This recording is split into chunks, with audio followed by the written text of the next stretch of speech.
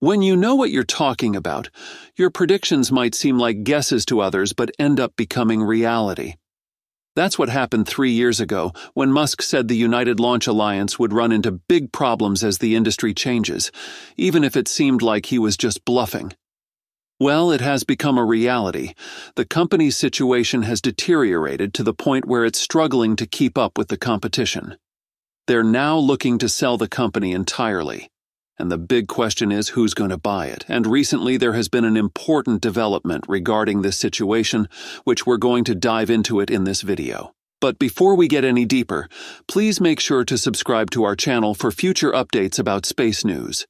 United Launch Alliance, created by Boeing and Lockheed Martin in 2006, dominated the aerospace industry for years, setting records that no other company matched.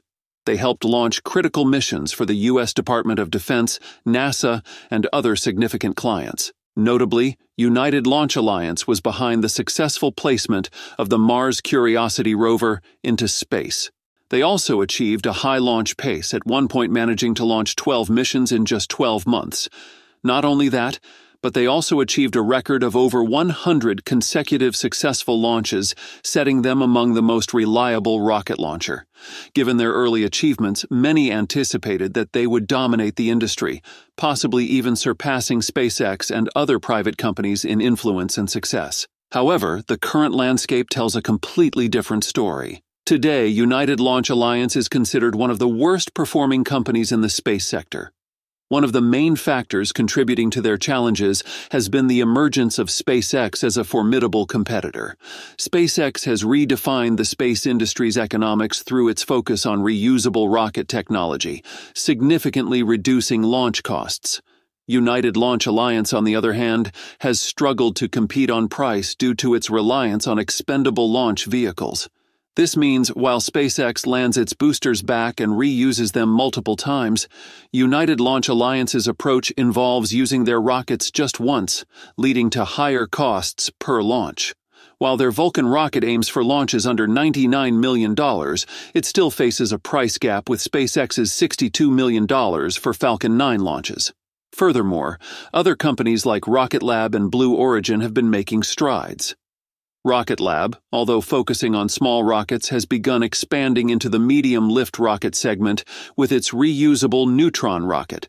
Blue Origin, with its New Glenn rocket featuring reusable boosters and a focus on reducing launch costs, aims to challenge both SpaceX and United Launch Alliance directly. This kind of intense competition can be tough for a company without a strong base, and United Launch Alliance seems unable to keep up with this competition. Financial data indicates the company's declining margins. Their profit margins dropped from 12.6% in 2015 to 8.8% in recent years.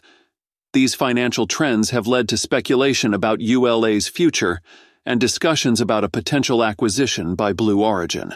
The possibility of Blue Origin acquiring ULA has sparked debate within the aerospace community. Some see this move as a way to challenge SpaceX's market leadership by combining ULA's infrastructure and experience with Blue Origin's innovative capabilities. However, critics argue that merging ULA with Blue Origin could reduce competition by consolidating two key players, potentially leading to higher prices and less innovation.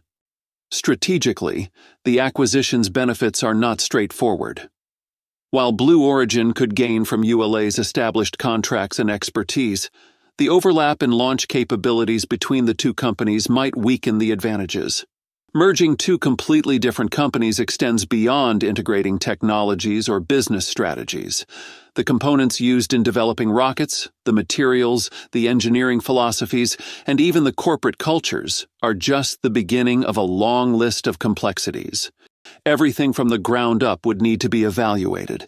Now, the bigger question is can Blue Origin buy ULA even if they want to? Considering ULA is worth about $4 billion, the question of whether Blue Origin can buy it involves more than just whether the two companies would work well together or if their technology matches up. It's really about whether Blue Origin has enough money and if buying ULA fits into its bigger plans. Jeff Bezos has been financing the company mainly by selling about $1 billion of his Amazon stock each year. While this is a significant amount, it raises concerns about the company's ability to fund a $4 billion acquisition. Besides, Blue Origin has encountered several obstacles, including delays in the New Glenn rocket launch and issues with the BE 4 engine, complicating the situation further. Estimations of Blue Origin's worth suggest a valuation between 10 billion to $30 billion. There are others in the industry speculating that SpaceX, rather than Blue Origin, could be a more likely buyer of United Launch Alliance. This theory is based on the straightforward benefits for SpaceX, particularly in terms of reducing competition. If Blue Origin were to buy ULA, it could emerge as a much stronger competitor to SpaceX. By acquiring ULA itself, SpaceX could prevent this scenario. Buying ULA would be a smart move for SpaceX for a few reasons. It would take out a rival and also stop Blue Origin from becoming more of a threat. It would give SpaceX access to ULA's long standing contracts with the government and defense. Financially, SpaceX is in a good place to consider buying ULA. The company is worth a lot more than Blue Origin, with valuations often going beyond $100 billion compared to Blue Origin's 10 to $30 billion range. This big difference in value shows SpaceX has a lot more money power to buy ULA, which might cost around $4 billion, without putting too much strain on its finances. SpaceX's high value comes from its successful launches, the growing Starlink satellite business, and its plans for Mars. It's got a solid money making track record with deals from NASA and the Department of Defense. Not only that, they're also the top choice for sending satellites into space right now. In 2023, SpaceX's Falcon family of vehicles took to the skies an incredible 96 times, breaking down into 91 Falcon 9 launches and 5 Falcon Heavy launches.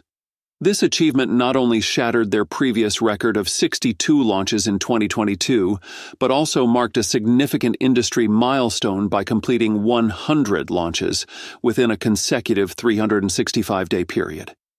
They're planning to do even more in 2024, aiming for 148 launches. That means they want to launch a rocket about every two and a half days, using mostly Falcon 9s, but also some Falcon Heavies and even Starships. They're trying to make their launch process faster and do more launches than ever before. And that's all for today's update. If you enjoyed watching and found it useful, please make sure to subscribe to our channel and hit the like button. Thanks for watching, and I'll see you in the next one.